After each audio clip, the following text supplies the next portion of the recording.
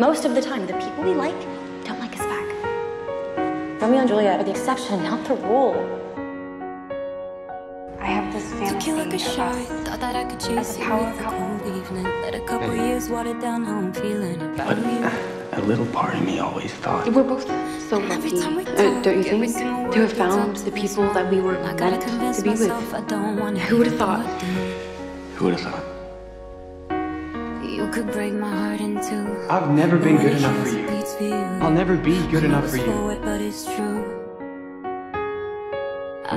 What about you and Archie canoodling though? Yeah, that was just pretend. I don't know, cousin. That looked pretty real to me. I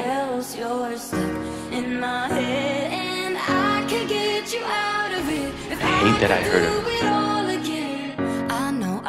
go back to you. Betty, wait. Never got it right. Come on, listen to me. No. No conversations. I can't give you the answer you want. That's what you said to me, and that's how I feel right now. I'm sorry.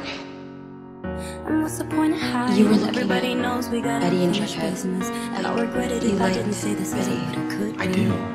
I always will. You could break I'm here for you, in. Betty. But when it heals, I always have beats been. you.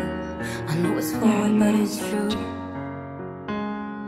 Uh, Right now, I need you with me. I need Betty Cooper. When I'm lying close to someone else, you're stuck in my head. It was always supposed to be Betty can't and get you Archie.